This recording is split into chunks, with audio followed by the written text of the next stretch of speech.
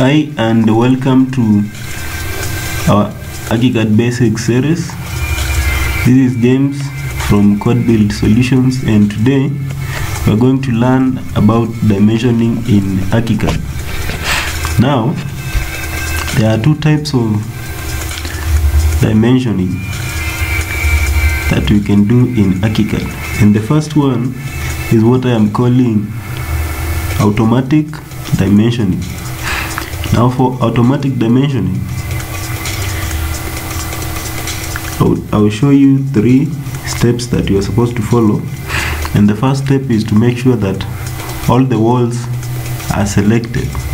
So I will hold down the shift button on my keyboard and click on all the walls to select them. Or alternatively, I can go to design and activate the wall tool. When using control A on my keyboard? I can select all the walls.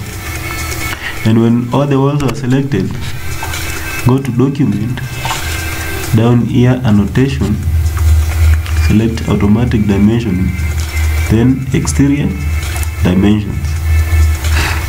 And make sure this button place dimensions on four sides is selected and click OK. Then move to where you want to place your first dimension. Then double click. You see all the dimensions are now placed automatically. So the first line of dimensions is showing the size of openings in relation to the edges of the walls and the second set of dimensions is showing the thicknesses of the walls and the other that dimension is showing total length of the walls. Now we can do this manually where we can specify what points we want to pick and where we want our dimensioning line to start.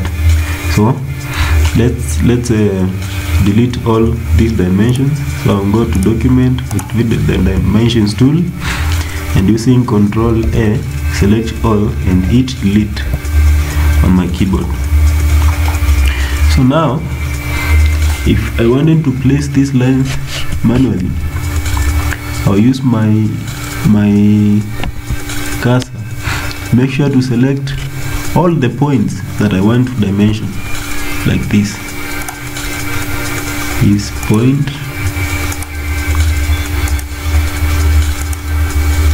then after doing that I'll move that pencil pointer to exactly where I want to place my first line of dimensions and double click to place it.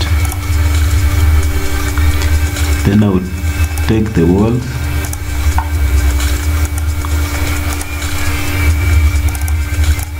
same procedure. Then we take the edges. Same procedure. Then I'll go to the other side of the building do the same. Select the walls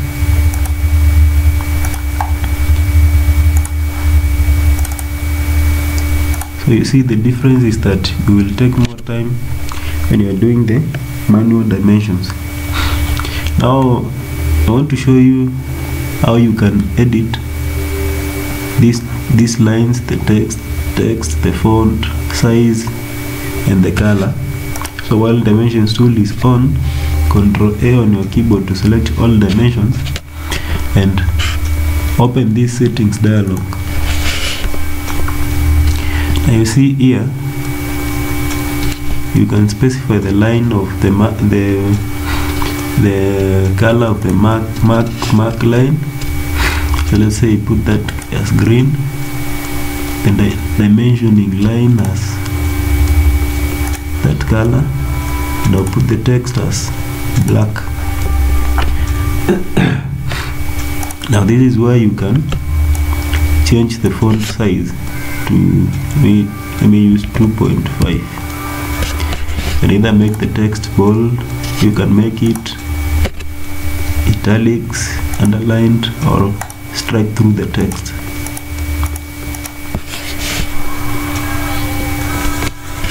And there are all these settings and maybe I can leave them for you to explore on your own. And uh, when you are done make sure to click OK and you see the dimensions have updated now if I wanted to move this dimension line I will select it then control D on my keyboard and move it that way. You can also edit specific text like if I, if I zoom onto this text and select it and uh, right click to dimension settings. You see I can put here the value that I want to to appear there and click OK. Pretty much very easy. So that's it for now. That's how to place dimensions on a floor plan and I hope you have learned something. Thanks so much for watching this video and please make sure to subscribe and you will receive updates when I post new videos. That's it. See you in the next lesson